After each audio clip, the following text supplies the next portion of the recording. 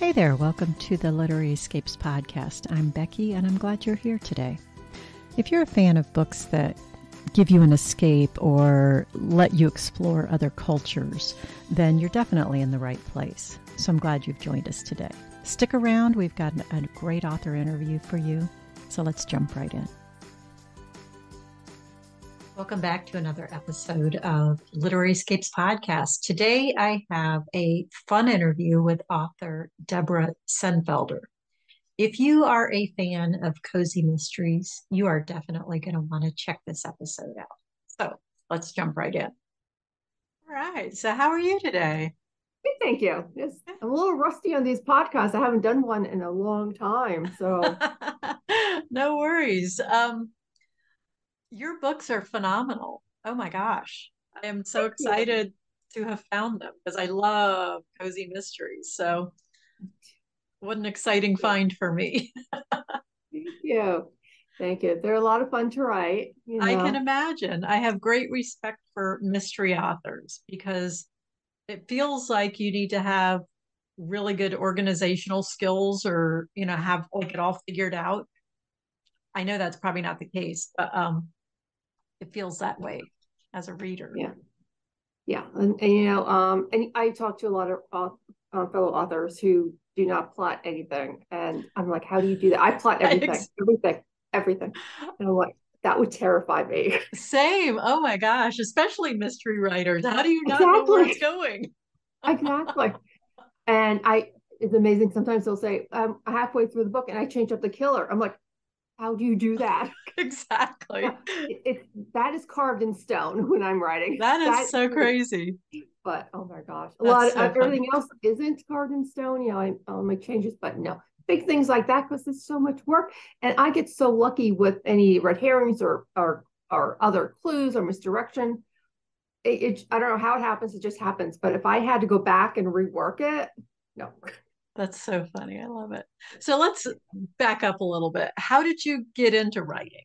I've always written. Um, okay. Ever since I was a little a little girl, I was writing stories, and I guess it was during the time I, I graduated college, um, got a job, then I got married, and I moved up to Connecticut, and I decided to write a book because I hadn't written a book before. I just done you know just yeah. stories like that and I decided it was going to be a cozy mystery. And I, I didn't realize that it was a cozy mystery at the time. Okay, this, this, was like 30 years ago. I didn't know what it oh, was. Wow. And um, but I just knew who the character was, my main character, and I wrote the manuscript and I sent it out to agents and editors, and it was promptly rejected by all of them. Uh.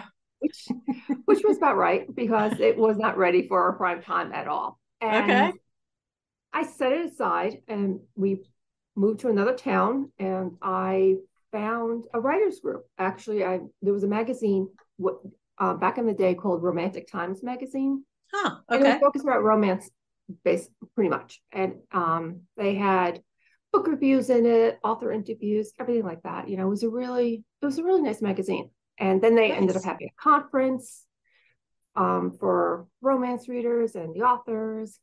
And there was a spotlight of a local author, Nancy Block.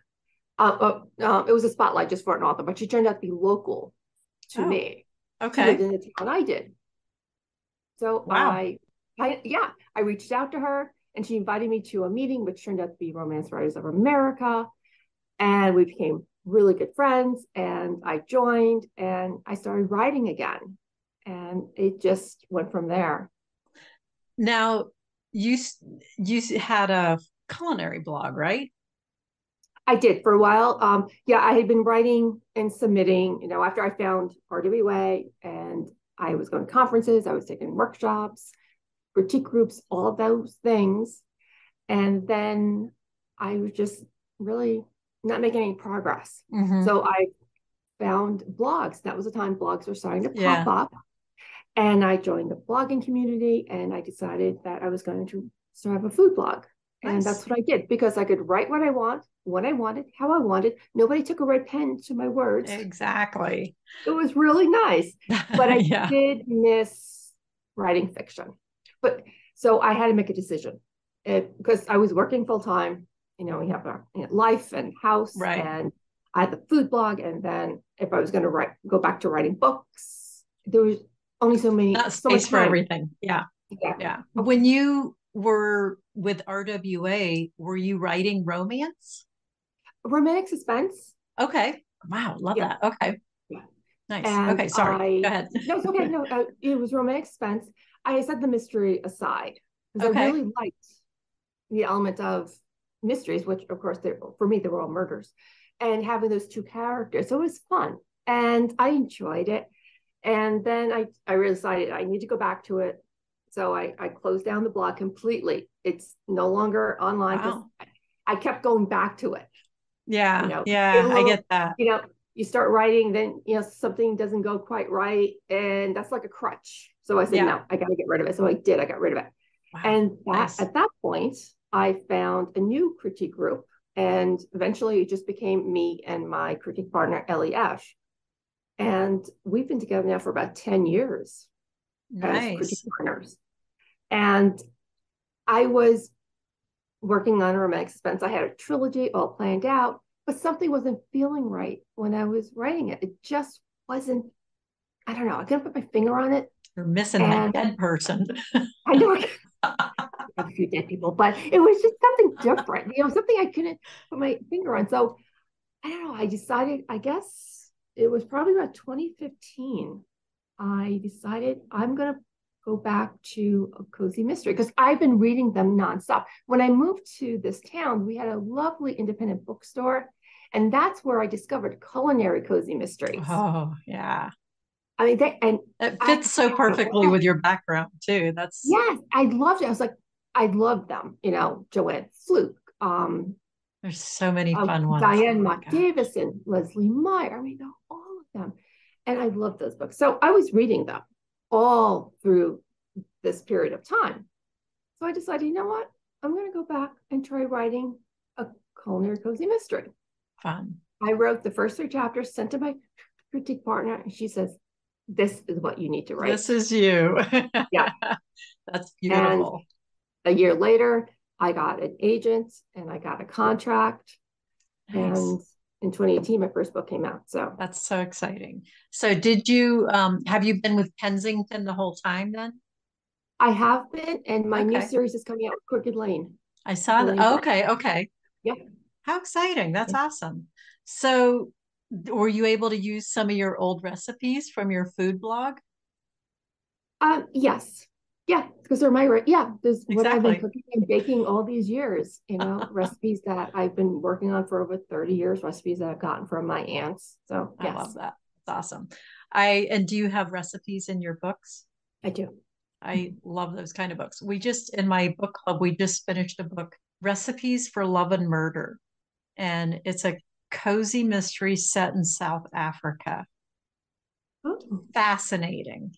The recipes in there I mean, there's like 30 ingredients per recipe, but holy moly, they sound amazing. So that does sound amazing. Yeah, Sally Andrew is the author. So if you want something a little different mm-hmm. um, in your perusing of cozies, um, snag that one. It's it was super fun.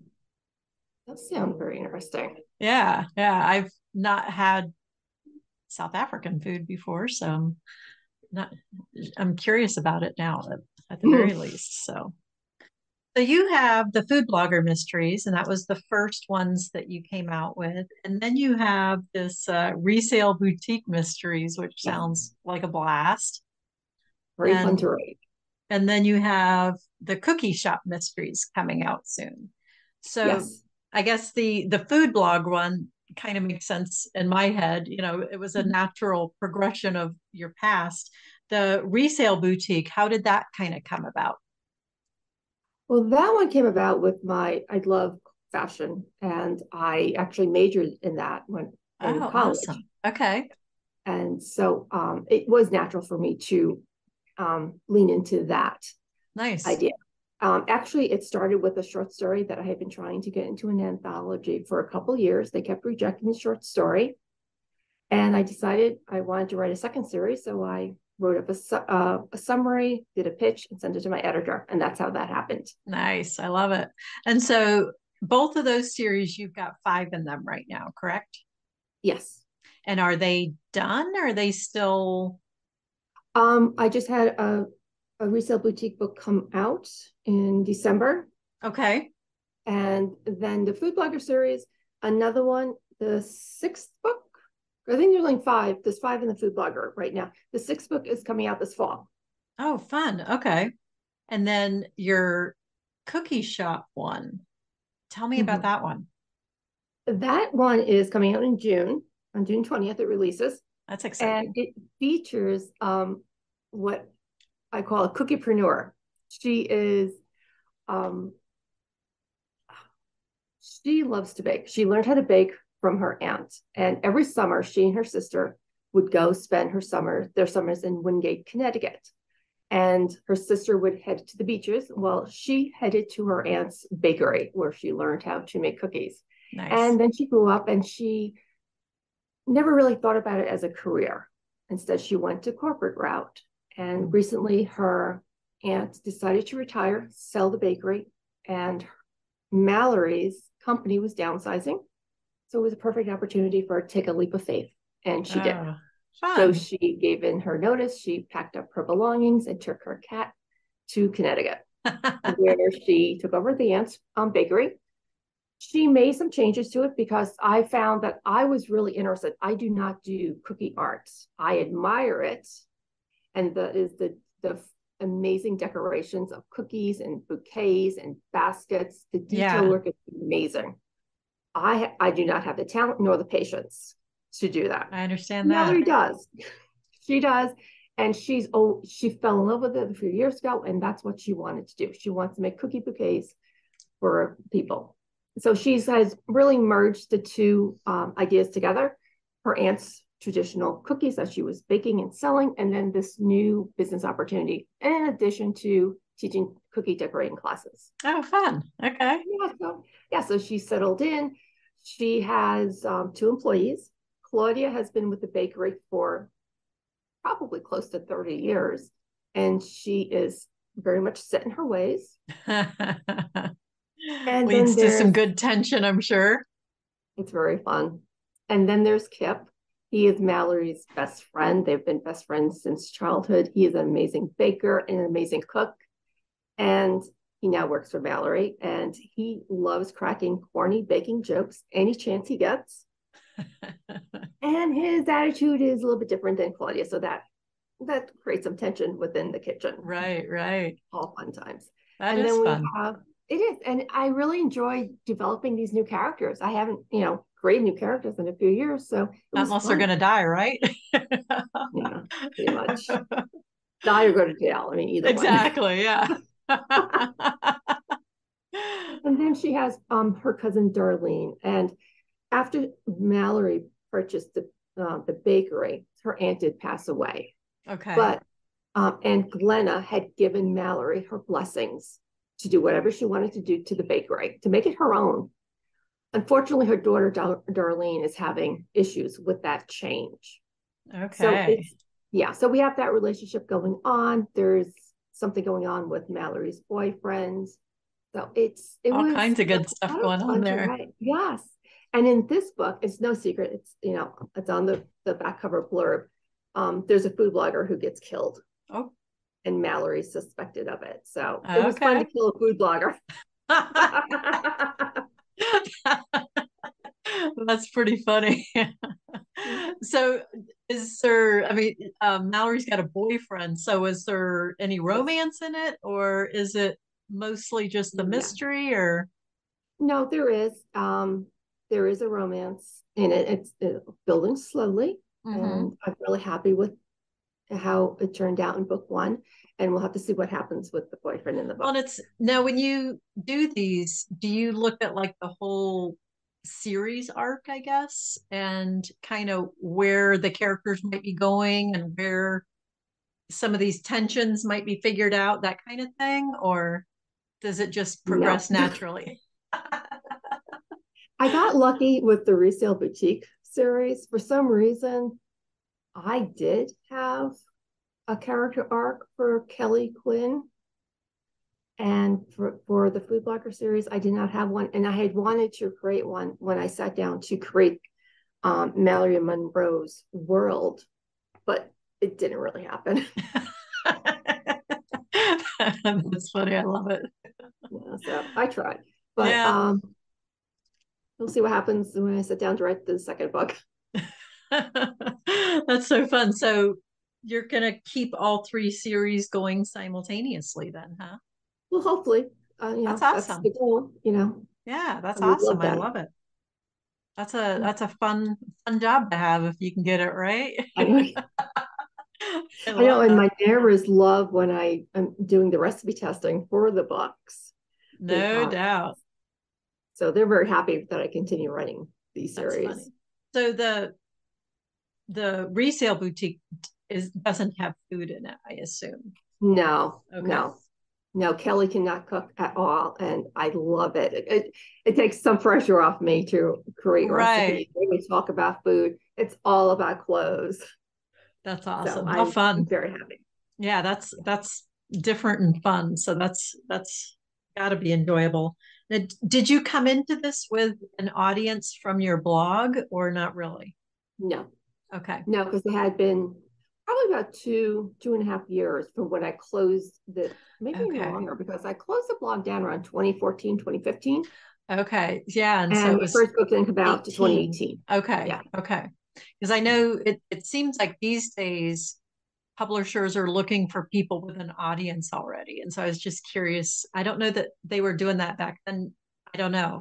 Yeah, um, I was never asked about yeah, it. Yeah. Because it seems like these days that's part of the um, I've heard different authors talk about that where you know you have to come in with an audience already or a platform i guess they call it. And um, i haven't and even with my new publisher um, crooked lane for this book i haven't felt the pressure to have to have awesome. a platform. That's awesome. so it's you know the, the focus is write your books. Yeah. You know that's what they want. That's kind of how it should be. Exactly. You know and you know and it's a bonus to be on the various platforms you know to engage with readers so. Right. So uh, is cozy mysteries are they still your favorite genre to read? Yes yes i do enjoy them um i every month you know when new releases come out like every single week there's like two or three that i'm adding to my either my kindle or to my bookshelf. The unending I, list right? Yeah, nonstop. And but i do enjoy still romantic suspense fact i just okay. picked up one i haven't gotten a chance to start reading it yet and I enjoy you know psychological thrillers, suspense. Okay. So yeah, all all kinds of um, mm-hmm. suspense and mystery. I love that.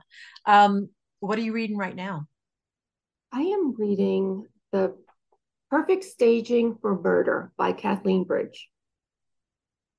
Perfect Staging, Staging. for Murder. Nice. Mm-hmm. I've not heard of that one. I'll have to check it out.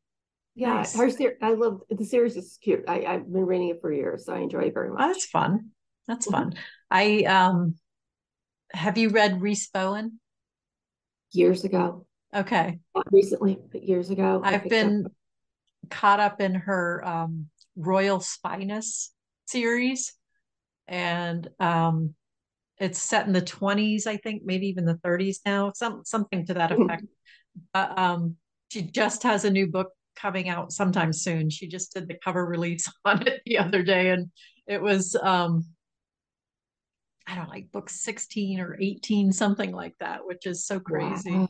Wow. Yeah, it's been it's been a while since I've read those as well, but it just it's so amazing that you can keep a series going for so long to have that many books and that you still have an audience for it. So what an amazing thing. It is. I love my readers. They're amazing people. They're so sweet. And I just, I, I'm so blessed to have them. Cozy mystery author our readers are, I, I don't know, they feel like a special group because I'm in a couple of cozy mystery groups and okay. I don't know, I just love that. I think mm-hmm. it's really fun to be part of that. And if you enjoy cozy mysteries, there's, you know, that's, that just seems like a fun, fun group to hang out with. Mm-hmm. It is. Yeah. So, um, what all are I know you have um, the first of the cookie shop mysteries coming out. So, what are you working on right now? I'm working on the next food blogger mystery. Okay. And is that, that the one that's it. coming out in the fall or the one after yes. that? No, the one that's coming out in the fall. I just okay. sent it off to my freelance editor. Nice. And then at the end of June, it goes to my publisher. Awesome. Okay. Mm-hmm. That's exciting. And then mm-hmm. which what's next after that one? Do you already have that I've, figured? Another food blogger mystery. Okay. I'm writing them back. I'm writing two of them back to back. Nice. And having three different series, does it take a little bit to kind of get into, oh yeah, that's these characters or that's this setting or that kind of thing? Or does it just naturally come? It, it I think it naturally comes because the settings are different and the characters, the main characters are also very different.